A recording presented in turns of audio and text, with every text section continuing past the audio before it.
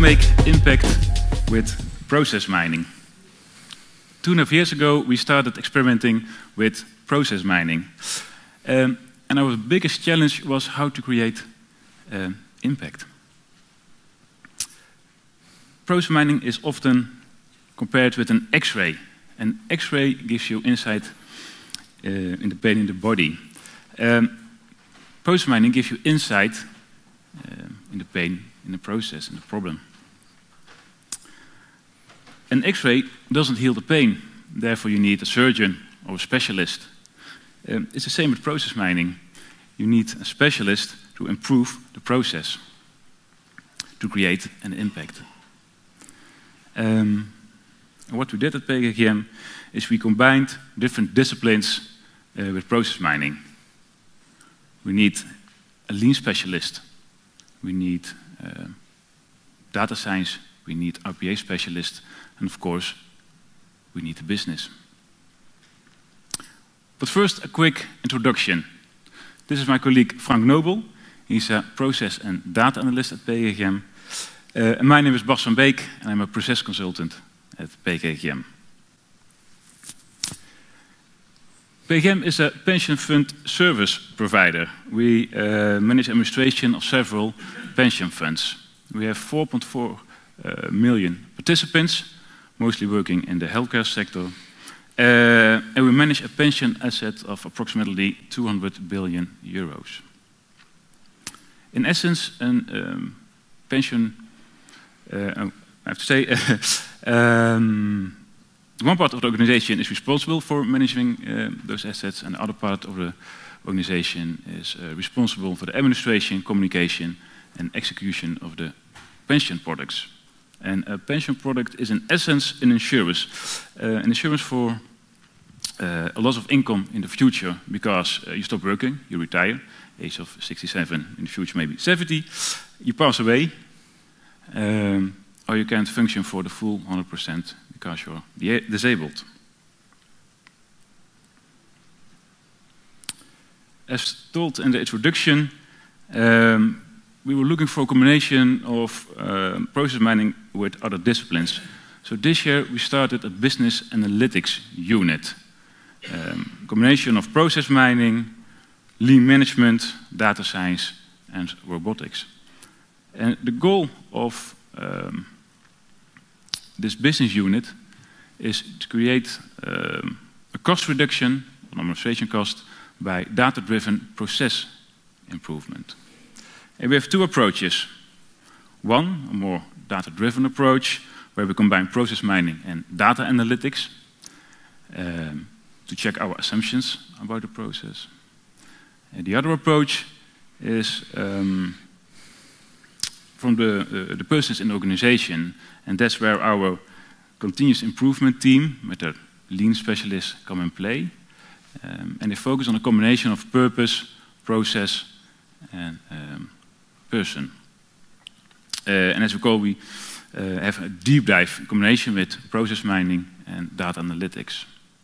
We, uh, the next 60 minutes of the presentation, we have three cases we would like to explain to you. One case, a combination of process mining and data analytics. We have an example of a, of a deep dive, combination of lean management and, uh, and, process mining. And we have an example of a case where we combine uh, process mining with compliance. Frank? Yeah. Thanks, Bas. So the first approach is the IT approach. The data scientists in our company um, the main goal of those data, data scientists is to redesign the process around the possibly available data. And we did this with the process regarding the premium-free continuation of a pension. Um, we chose this process because, first of all, there's a lot of manual labor in this process. Um, we get a lot of calls about this process, and we don't know why. And thirdly, uh, most of all because it's a very tough situation for the participant. This participant is sick, is disabled, cannot work anymore, and it doesn't want to do all this, this administrative stuff um, for its pensions. So, a little bit of context about this, uh, about this process, very short. In the Netherlands, most people, when they work each month, they pay a premium for their pension fund. Uh, they get that when they retire. But when you, um, when you get sick and you cannot work for 100% anymore, you also technically don't pay 100% of the premium anymore. Then the collective of the fund will fill this gap and will fill this gap and will pay part of the premium so that you still have enough pension, uh, pension funds when you retire. The most important actors in this process, and I already saw some of them in the room, um, are first the UWV, which is the uh, Dutch uh, institution, uh, governmental institution, which is amongst others responsible for disability insurances. We have the participant, which is disabled, and we have PGGM as the pension fund administrator. And this process starts when our participants get a letter from the UWV saying that he will be officially disabled. He sends this letter to PGGM, and PGGM then registers this information so that now the collective will pay part of the premium. And we then send uh, a response which is automated already by a robot with all the information the uh, participant needs.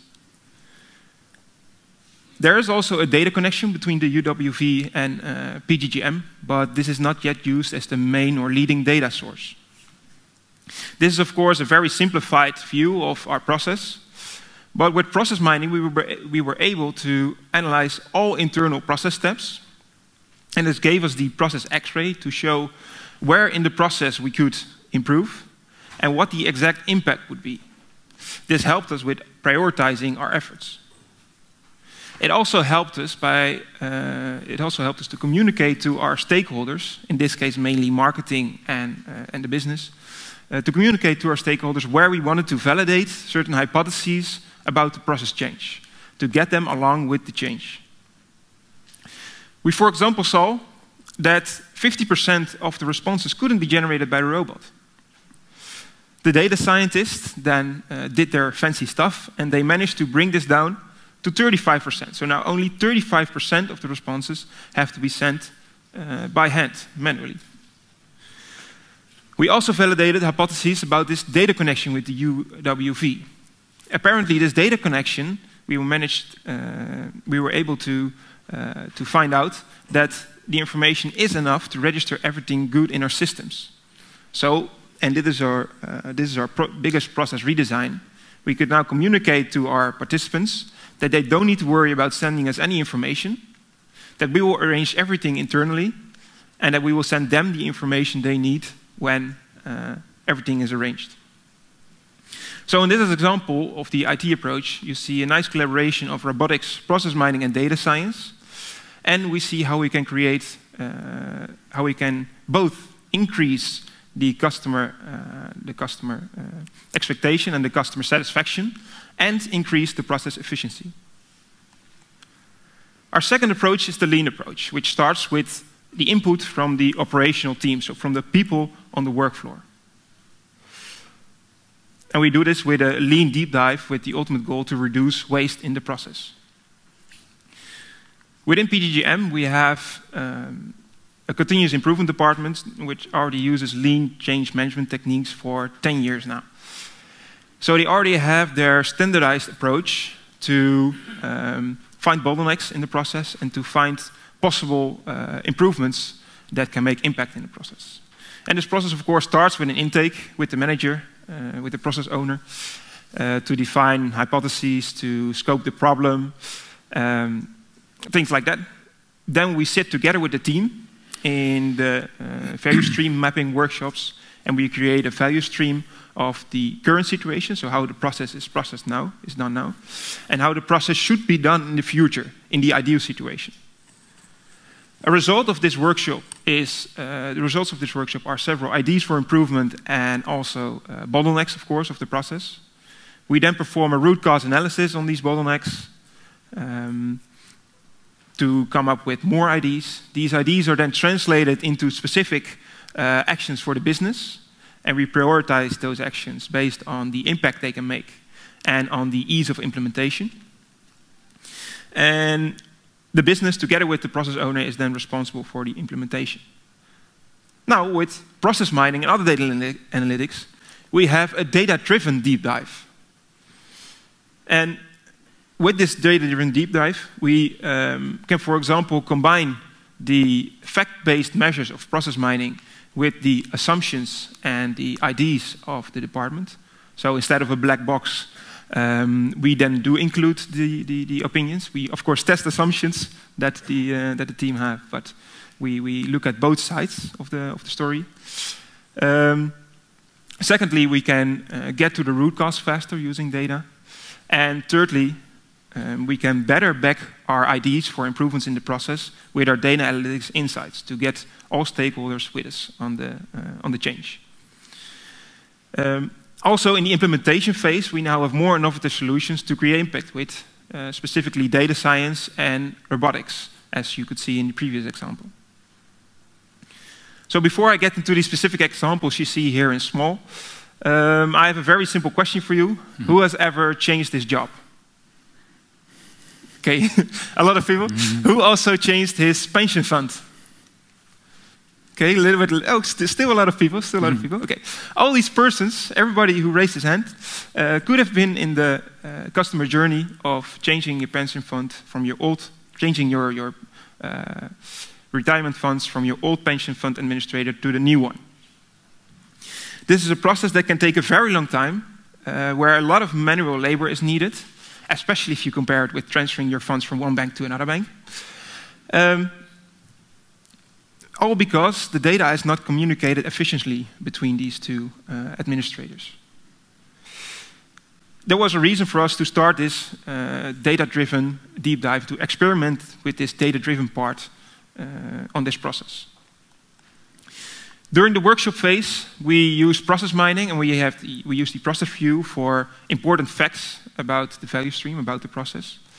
Of course, you of all people know that this is not the first process view we got when we analyzed all the data in Disco. This is just one scenario, one happy path to explain you the process. So the process is as follows. Uh, a re uh, request is registered. Um, we then ask the old pension fund for some information. Uh, when the old pension fund administrator uh, sends this information back, we process this information, we create an offer for the participant, um, we check calculations in this offer, and then we send the offer to the participant. It then has 60 days to respond, and when uh, a participant responds, we, uh, yeah, we set everything in motion to change the funds.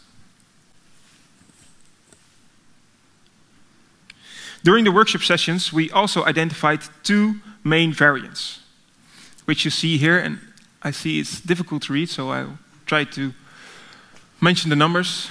Um, the first variant, which is the top variant, is the variant where the communication is done through a data transferring portal. And the second variant is done uh, where the, the, the, second variant, there the communication is done through normal post and a post office. And what we could see here, we see here the activity duration comparison and also the composition of these two variants. What we see here is that, of course, the portal was much faster in uh, handling uh, the process. And also that there was a very big difference in the middle of the process, because this yellow activity we see in variant 1, the top variant, is exactly, um, in essence, the same as the purple and gray activity in the second variant below. The, the, the, the, people from the process, of course, knew that there was a big difference between those two variants, but they never had the facts to prove it. And with these facts, we can now um, make a business case to process more of the requests through the first variant. And we can also influence other pension fund administrators to also use this portal, because only if both of the administrators use this portal, you can communicate in this way.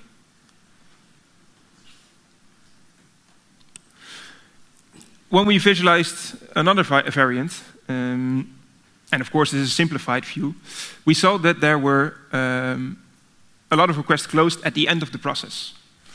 So trying to find the reason why a lot of requests were closed, we heard from the department that it was because customers didn't respond, but we thought, okay, why wouldn't you respond if you do uh, send a request?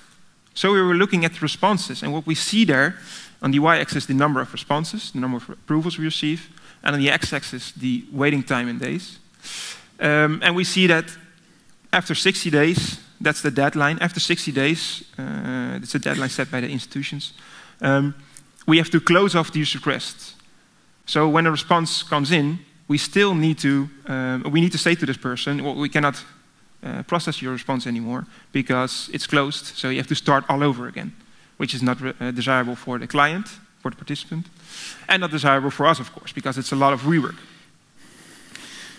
The solution we can find in the pattern of the responses. We see a weekly pattern, and that there are the biggest peaks after two and three weeks.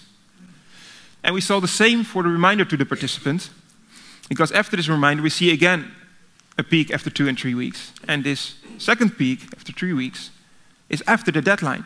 So we were actually well, influencing our own rework. And the solution was as simple as it gets, sending the reminder a bit earlier. Thank you, Frank. Process mining and compliance. As um, earlier mentioned, EAM is responsible for the pension administration of several pension funds, um, our clients. And these clients uh, like to have assurance if our processes are in control. So, I, so we provide an assurance report according to the assurance standards for pension funds. Um, this report includes our control framework, uh, and reports are uh, provided per client. Um, in this part of the presentation, I would like to tell you um, how we use process mining to optimize our process of testing controls. In this picture, you see um, the situation of last year. We performed uh, for each client an audit. And this is very uh, yeah, time and, and, and, labor consuming. Um, Frank and I are lazy, a little bit lazy, me more than Frank. And we were thinking of a way um, to make this process uh, easier. Because this is what we would like to create. Four clients, one audit. And then we had an assumption. If a process is executed in a similar way for all the clients, it's a multi-client process. And our, def our definition of a multi-client process is that one team is responsible for the execution of the process for all the pension funds.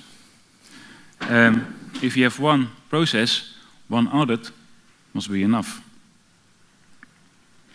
But therefore, we needed the opinion and approval of our external uh, auditor. And together with them, we uh, defined three requirements. Um, one, the process has to be the same for all the clients. The process has to be uh, executed by one team and specific, uh, the same uh, employees. And three, the controls have to be identical. We have an example. Uh, this is our process of paying pensions. Um, when the participants, uh, the claim of the participants is uh, converted into an actual payment in this uh, situation. Um, but first we had to ensure it is a multi-client process, and we did that together with the business, um, using walkthroughs, interviews, work man manuals, um, and of course, process mining. And um, with the data of our pension administration system, uh, we created this event log. And with this log, we could prove that the workflow for all the clients is the same. Um, with the data, we also proved that the execution of the process was done by one team and the same employees.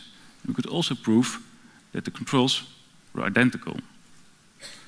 Um, because we were one of the first organizations who used process mining from a compliance perspective, um, it was very interesting for our accountant, but there were no um, accounting standards for using process mining in a compliance way. Um, so for the accountant it was very important that we um, logged our audit trail. We had to ensure, uh, uh, we had to log a description of our event log, how we created the workflow. We had um, a description of the filters we used in Disco. And we had to create the visualization of the process with the controls plotted on it. Um, this case is an, another example of um, how collaboration, in this case with the business and, the, and the external auditor, led to a more efficient process, a cost and uh, time reduction on the audit work, uh, and more assurance uh, because it is data driven. Yeah, so to wrap it up, in the last 20 minutes, we've shown you how to make impact with process mining. And we want you to remember, remember three things from our talk. First, that process mining is a very powerful starting point. The process mining insights are very powerful as a starting point, but you need specialists to intervene in the process and make the impact.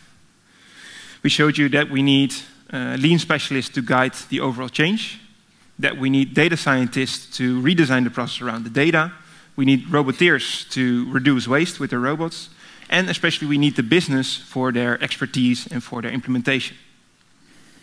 So what I want you to do when you go back to your job next week is talk to the specialist in your company if you didn't do already. Secondly, we showed you that there are multiple starting points, multiple approaches, and none of it is wrong as long as it is a multidisciplinary effort when you want to create impact in your company. Especially don't make it an IT party only and include the business early on in your change. Third, finally, start small and start experimenting. Only by experimenting and learning from our failures, we came to our business analytics framework. So, if you didn't do already, stop process mining and start process mining. Mm -hmm. Thanks.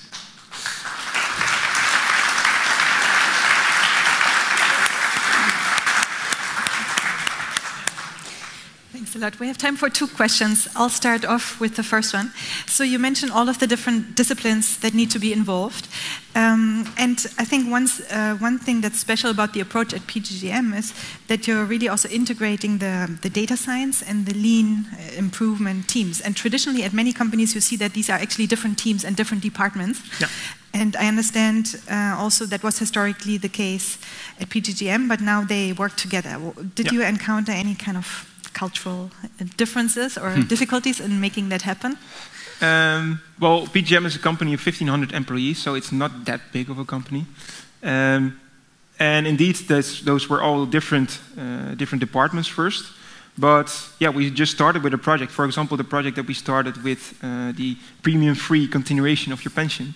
Um, that process was just an experiment they, the data science uh, scientists wanted to do a project there, and they uh, hooked me on the project uh, to help with some process mining insights. And that was actually a start, and we just experimenting. And then after these experiments, uh, the strategist of the company thought, okay, maybe you should sit together, and maybe you should have the together a stand-up uh, talking about your projects, so that if we talk about our projects with the other teams, that we could also say, oh, but I already did this one time, or maybe I can help you with this. And that's actually how we formulated uh, this, this business unit. And yeah, problems we had, cultural problems, no, not, not so much, not so much, no. Okay, so great. because we're all the same people, we're all yeah, the same company. Yeah. We all have a green, green heart. good, good, good to hear. Okay, one more question for Bas and Frank. Get a microphone over there.